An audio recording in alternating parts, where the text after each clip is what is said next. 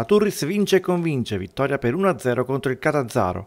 Partenza bruciante dei Corallini che nei primi minuti mette in crisi subito la difesa ospite con una doppia occasione, lancio di bordo per Leonetti, aggancio, sombrero al difensore catanzarese e tiro dal limite, risponde presente il portiere ospite Branduani e sulla respinta la corrente Varutti va sul fondo, cross teso e la palla termina sul palo.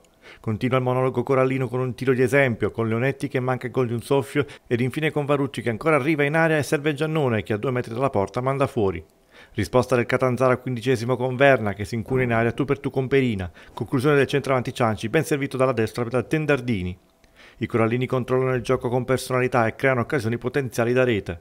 Il primo tempo termina tra gli applausi del pubblico ma con rammarico di non aver capitalizzato le tante occasioni.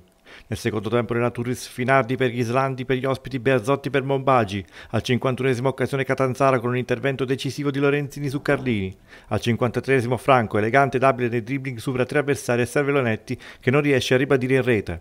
Al sessantesimo esce Sant'Agnello per Loreto. Al settantaseiesimo lunga serie di passaggi della Turis che termina sui piedi di Luca Giannone che dopo uno scambio con Bordo inventa un gol con un pallonetto millimetrico dove il portiere ospite Branduani non può arrivare. 1-0 ed esplode di gioia l'Americo Liguori. Risposta immediata del Catanzaro con un contatto dubbio al limite dell'area tra Curiale e Lorenzini, vibranti proteste della panchina calabrese, ma il direttore di gara lascia proseguire. La partita termina con il forcing ospite dopo 4 minuti di recupero e la Turis sorpassa il Catanzaro e si porta a 25 punti, portandosi al terzo posto in classifica.